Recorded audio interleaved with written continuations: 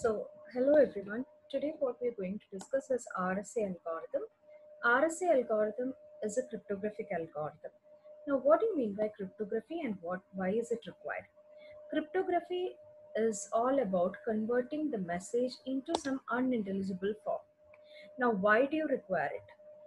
In a network, when we are when two parties are communicating with each other, there are few uh, criterias that network should maintain as per the security requirements like confidentiality, integrity, authentication, etc. Now, by means of confidentiality, we mean that the message, whatever we are communicating, should remain confidential between A and B. Any attacker C tries to get hold of message M also, he should not be able to know what the message is. By data integrity, we mean that the message should not be modified while in transit, which means if A has sent a message M to B, it should reach as M to B and not as M dash. By means of authentication, B should know that if, um, if, if it receives a message from A, it should know that the message is from A and vice versa. Okay, so these are some of the conditions or security requirements of a network. And to satisfy these requirements, we use cryptographic techniques. RSA is a contribution from Rivest, Shamir, and Adleman, and it is a public key cryptographic system. So basically, there are two types of cryptographic systems secret key uh, uh, cryptographic systems and public key cryptographic systems. In secret key cryptographic systems, we use the same set of key or keys for encryption and decryption. Whereas in the case of public key cryptographic systems, we use a pair of key. One of the key is used for encryption, whereas other is used for decryption. Okay? So that is why it is called as an asymmetric cryptographic systems also. It is also known as asymmetric cryptographic system. And both the keys can be used interchangeably. Now, this is one of the, uh, it, it is found, uh, uh, this particular algorithm is found in MIT labs in 1977 and it is one of the best uh, known and widely used public key cryptographic systems. So here what we do is we use the prime number is what we use very large prime numbers of 1024 bits or something is what we will be using and um, it is based on the exponentiation in a finite field of integers modulo a prime. This is the prime principle that we are using and the strength or security of the algorithm is uh, due to the fact that the cost of factoring prime number is very very huge so if an attacker gets hold of the information also the he will be uh, it will take a lot of time for him to actually find out the two prime numbers and then to decrypt the uh, um, message so this is where the strength of the algorithm lies now coming to the rsa algorithm the first step in RSA algorithm is to choose two prime numbers. So let us name the prime numbers as P and Q. After that, we find the product of it. So we find the product as N is equal to P into Q.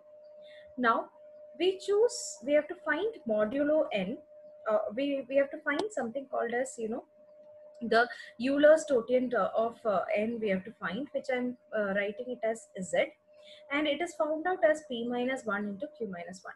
Basically, this z will give you the number uh, of uh, uh, numbers which are uh, co-prime with respect to n. So what do you mean by co-prime? Let me explain you. A number is said to be a co-prime of other number if the two numbers are not having any common factor other than 1. So after finding these two information, we find a key E, which is the public key, which, but there is a condition in choosing that it should be relatively prime to Z. It should be prime to Z. Okay. So after choosing the public key, now it is our turn to find the private key. So how we have to find the private key in such a way that, okay, it has to satisfy this equation. That is, D into E mod Z should be equal to 1. Meaning, D when multiplied by E and divided by z should give me the remainder as equal to 1. Once you do that step, you have got your public key and the private key. So your public key will be E comma N and the private key will be D comma N. Now, given any message M, you can do the encryption in this way where you will be getting the cipher C as equal to m to the power of e mod n. For decryption, what we do is we do the reverse process. m is equal to c to the power of m is what we will get after the decryption process. So m is equal to c to the power of d mod n. Okay, and the public keys we will be getting will be e comma n, and the private key will be d comma n. Okay, so if I explain in this way algorithm, you will not be able to understand. So let us take a simple problem and we will just explain this. So I'm taking two prime numbers, p is equal to 7 and q is equal to 19 I'm doing. Okay. it, I'm computing it as p minus 1 into q minus 1. So I'll be getting it as 6 into 18 which is equal to 108 I will get. Now you have to choose a public key in such a way that it is relatively prime to z. So you take numbers from 1 to this one you take 1 we don't generally take so 2 and 108 if you see they are having common factor so they are not relatively prime 3 and 108 if you do also we have common factor. 4 also we cannot take. So i'm taking 5 and 108 if we do. They don't have any common factor other than 1 okay. So after choosing e is equal to 5 now we have to find d. So d how to find? D into mo e mod z should be equal to 1 or in other words I can say that d into e will be equal to k z plus 1 where you can vary the k value and uh, from 1 to n uh, 1 to maximum you can go up till this n by 2 and you can actually find out which value you will be getting it as uh, the proper way you will be getting. So when we do this you'll be getting d as equal to 65 we will get. Okay? So your public key is 5 comma 133 and your private key is 65 comma uh, 133 these are the public and private keys. Now after doing this we will do the encryption uh, uh, we, we will do the encryption part. So we will do the encryption part as c is equal to m to the power of e mod n. So we have given m as equal to 6 correct? Now when we do the encryption part what is the cipher that we are getting? Cipher we are getting a 62 okay? Now we can convert back the 62 uh, to the message m by applying the decryption part.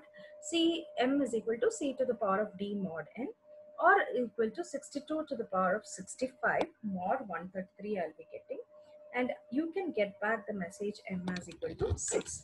So this is how the algorithm works.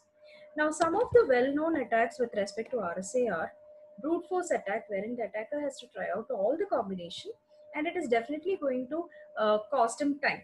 So uh, second part is mathematical attacks and the third is timing attack. These are the possible attacks that uh, we know uh, as per RSA algorithm attacks. So these are something that um, this is uh, uh, one of the prominent algorithm which we are using. So you can think of this public key cryptographic system. An analogy I can give you is your email ID and the password. To whoever you want to communicate with, you will be giving your email ID, but you will keep the password to yourself. Same way, if I if I want somebody to message me, I'll be giving my public key information I'll be publishing. Whereas a private key i'll remain i'll make it as confidential to myself. Okay? So these this is how this particular algorithm works. Now i'll show you the uh, uh, execution of this how to give the values and all i'll show you. Okay? So over here i'm just uh, uh sharing another screen. My terminal screen i'm sharing. And uh, you can see the execution of this particular algorithm. The it is very very straightforward kind of algorithm. Execution is very simple very it's just statements only we are having. So uh, now coming to this part the execution part i'm just giving rsa.c i've included math.h so when you are executing it uh, uh, it is it is good enough to um, explicitly link to the math library because in uh, in math.h there is a function called as pow function so we, in order to find the cipher, we'll be using m to the power of e. So you can write it as POW of m comma e. When you're using the power function, you have to explicitly link to the math library while uh, you are executing. So because of that, I'm giving hyphen lm, meaning explicitly linked to the math library. Now I'm just executing this part dot slash a dot out.